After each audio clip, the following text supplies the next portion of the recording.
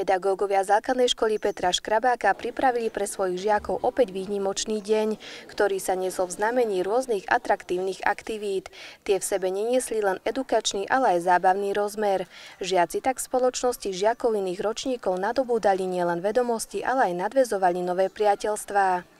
Naša škola sa zameriava na environmentálnu výchovu, ochrana človeka a prírody a dneska sme si urobili taký súhrn všetkého, či už tú ekoolympiádu, kde žiaci samostatne kreatívne pripravovali tie ekodomčeky, ďalej zostrojili aj chladničku a pec solárnu na základe ich návrhov.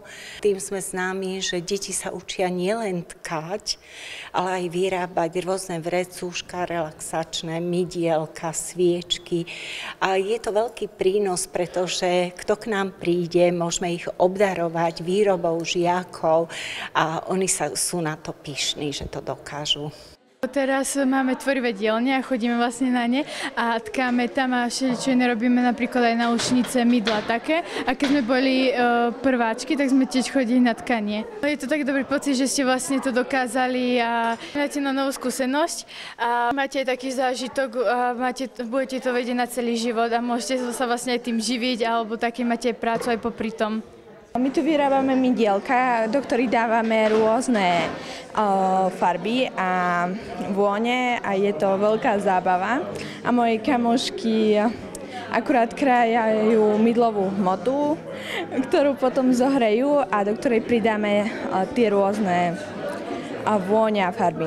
Doma som ich ešte nevyrábala, zatiaľ som ich len v škole. My robíme uh, s levandulou Najprv ich naplníme vatou a potom pridáme ešte levandulu. A na konci ich všetky zošieme a porozdávame.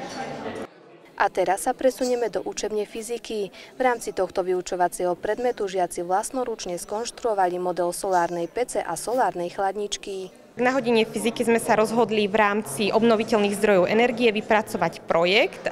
Deti si mali navrhnúť sami zariadenie na využitie z jednej z foriem, teda obnoviteľných zdrojov energie. Rozhodli sa pre solárnu chladničku a solárny varič a mali si vypracovať svoje vlastné projekty, ktoré na dnešnej hodine teda mali sami aj skonštruovať najlepšie z recyklovateľných materiálov.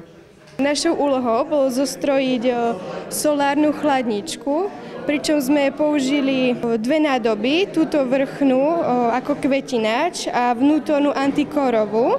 Medzi tie dve nádoby sme vlastne dali piesok, aby odparovala teplo z tých nádob, aby potraviny sa udržiavali chladnejšie a aby dlhšie vydržali. Tento spodok kvetináča sme použili na izolovanie nádoby tej antikorovej, aby sa udržalo chladno v tej nádobe izolovanej aj v záhrade máme vlastne našu solárnu pec, tak nás to inšpirovalo. Použili sme na to vlastne materiál, ktorý neškodí prírode. Krabicu sme vyseli čiernym papierom, ktorý absorbuje teplo. Na boky sme dali alobal, ktorý vlastne, keď sa lúče odrážajú, tak dopadajú do ohniska. A potom medzery sme vyplnili ovčou vlnou. Ja sa z toho veľmi teším, pretože deti sú veľmi kreatívne, dokážu si vyhľadať sami informácie, ktoré dokážu celkom fajn pretaviť do bežnej praxe, dokážu dokonca argumentovať svoje vlastné názory, prečo je to dobré, prečo to nie je dobré, prečo by sme mali tieto zdroje využívať, pretože naša prax nie je čierno-biela a teda nie vždy je to, čo prezentujú rôzne firmy, také skvelé. Tento špeciálny deň sa niesol aj v znamení 3. ročníka Ekoolympiády. Počas troch hodín tak z rúk žiakov zišlo 5 unikátnych modelov ekodomu, ktoré budú vystavené vo vestibule školy a na základe celoškolského hlasovania bude vybratý ten najlepší. Sme rozdelení na skupinky, vlastne 5., 6. a 7., 8., 9. ročník a vlastne robíme ekodom, ako si predstavujeme, ako vypadá.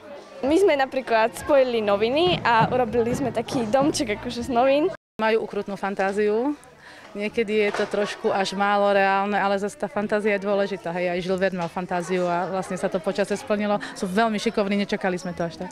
Toto je len hrstka aktivít, ktorej sa žiaci základnej školy Petra Škrabáka venujú. Škola je zapojená aj do rôznych projektov, v rámci ktorých žiaci nadobúdajú mnoho vedomostí. Tie ale nevyužijú len vo vyučovacom procese, ale aj v súkromnom živote. A to, že im škola dáva práve takúto možnosť, vnímajú veľmi pozitívne. Je to ako veľmi dobré, lebo sme veľa ako aj v prírode a robíme rôzne ekoaktivity. Je to veľmi zábavné a poučné, že nám škola toto dovoluje a veľa sa pri toho naučíme. Ja som tomu veľmi rád, lebo občas to učenie už ide na nervy a je to príjemný oddych.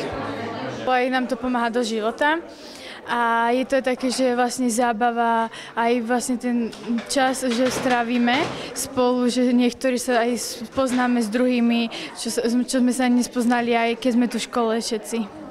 Základná škola Petra Škrabáka pripravuje opäť niečo nové.